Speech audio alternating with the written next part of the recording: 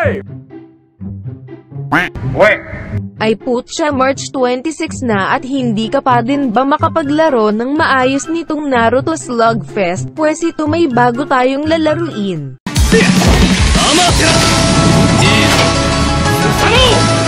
Oops, teka lang. So ayan, mag-login ka gamit ang Facebook or Google and dito po ay online mga lodi. So may nababasa po tayong closed beta. So habang meron pa po ito ay try nyo na po ito, if you want. So ang game size po nito ay nasa 1.95 gig. Download link lang sa description. Vietnamese game po siya mga lodi. King ina ang lupit din ng Vietnam pagdating sa mga mobile games, ang dami nilang mga release na mga mobile games grabe. Sana ang Pinas ganun din. So ayan, hala ay yun ang maganda dito ay mga sikat na mga ninjas ang magagamit mo dito. Makakagamit ka ng Sasuke, ang Astig. May temari pa, yung tagapaypay sa taong naiinitan. Tapos ayan yung maputing ninja, glutathione user kasi. Tapos ito pa, teka sino ba ito? Ito ata yung. Ewan hindi ko na matandaan, bahala na siya dyan. Tapos ayan holy shit, si Boruto mga lodi, so okay lang walang si Naruto, nandito naman si Boruto so ayan na nga, so fixed gender tayo dito mga lodi. Puro Naruto characters lang walang babaeng Sasuke or babaeng kapal kilay dito. Masagwa na pag ganun. So ito na mga Lodi so kung doon sa Naruto Slugfest ay ikaw si Naruto versus kay Sasuke, eh dito naman ang kalaban mo agad dito ay si Madara. At ayan okay din yung graphics niya at mga skills dito. Teka lang tapusin lang muna natin laban ito.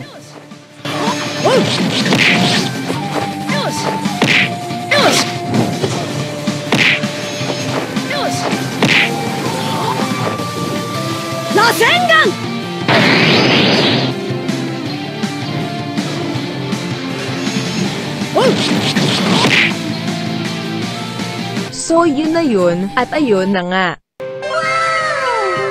So ayan na siya mga lodi, ang dami na, pero okay dito kasi hindi siya malag, at stable lang po itong connection niya, nice naman, buti pa dito. Yung kanyang camera settings dito medyo almost similar lang din doon sa Naruto Slugfest mga lodi.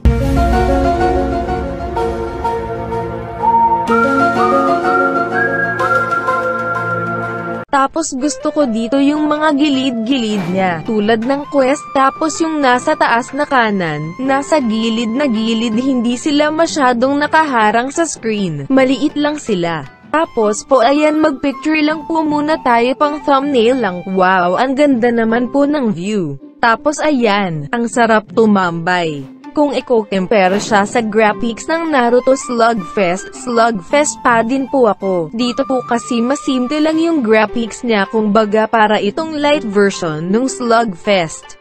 Tapos tignan natin, ito ata yung settings niya. So hindi ko siya magalaw baka kasi lalong gumulo. Di ko maintindihan kasi mga lads. At ayan pindot na tayo sa kaliwa. Tapos magtatakbo-takbo na siya. So meron po siyang auto-pathing mga lodi. And syempre po sa lahat ang pinaka-importante ay meron po siyang auto-attack. Tapos yung quest niya ganito ganito lang pindot-pindot lang sa baba. Oh 'di ba madali lang po. Holy shit.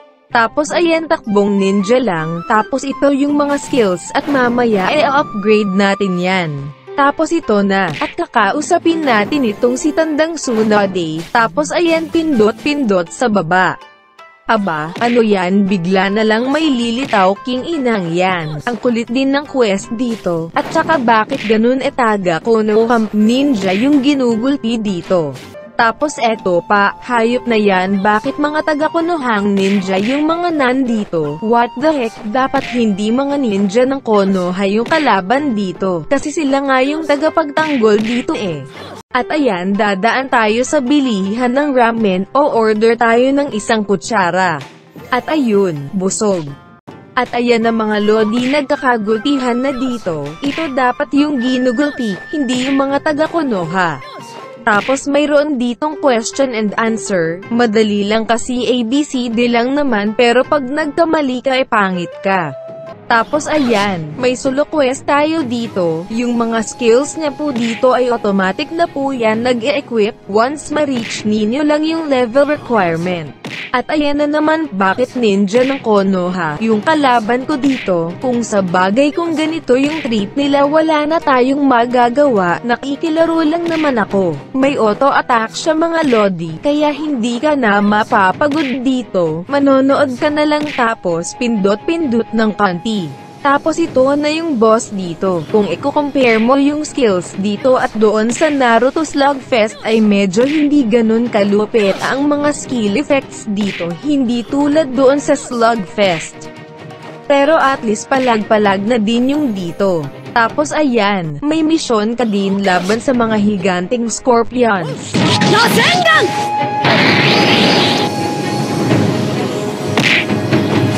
Tapos yung mga ito nakatambay lang dapat tinulungan nila yung itong scorpion, putak talaga yan. Nanonood lang hindi tumutulong, king inang yan. Hayop na yan talaga. Tapos ayan, ganito dapat, yan tama yan. Bulta-bulta yung mga siraulo nagsama-sama para gulpihin natin. Meron siyang VIP mga lodi, so sad, nakakabwisit wala lang siya dito sa taas sa kaliwa. Tapos ito, nagugulpin na natin itong boss dito, pero sino kaya ito? Orochimaru daw. Kinang inang yan, naaalala ko tuloy yung Naruto Slugfest, okay naman kasi doon at maganda naman yung graphics tapos okay naman yung mga skills doon kesa dito. Yung connection lang talaga yung nakakabwisit doon, hayop na yan. Tapos yung skills niya ganito, pindot ka lang sa baba sa kanan, tapos ayan makaka-upgrade ka na. Tapos ito din. So yung last skill natin yung nilalapag natin na kuryente, mapapalitan pa yan, mas magiging malupet pa, parang summoning technique ata niya ito. Tangina ang angas summoning technique nga. Tapos ayan si Sasuke, sabayan natin. Tapos quest tayo patay-patay tayo ng mga ninja. Ama! Rasengan! Yosh! Tapos ito naman yung sa backpack niya mga lodi, yung may color green na arrow na pataas yon yung susuotin natin, para dagdag sa CP natin. CP base ata dito lods or BP siguro, basta yon na yon. Tapos ito si Konohamaru, dapat dito matanda na siya, hindi bata. Basta wala tayo paki dyan sa kanya, basta mag-upgrade upgrade lang tayo nito mga lodi. Sa mga may trip po nito, nasa description lang po ang download link tapos download nyo na din po yung APK Pure. Yun po kasi yung gagamitin ninyo pang open itong file. Kung sakali, hindi ninyo ito ma-open.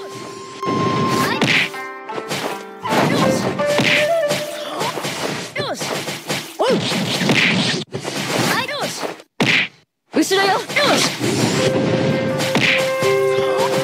よし。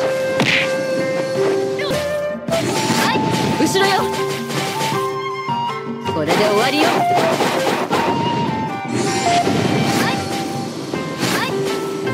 後ろよ。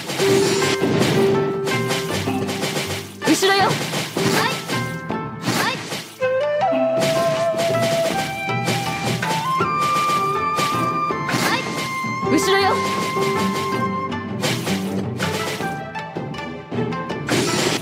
い。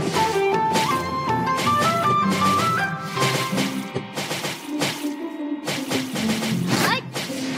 後ろよ。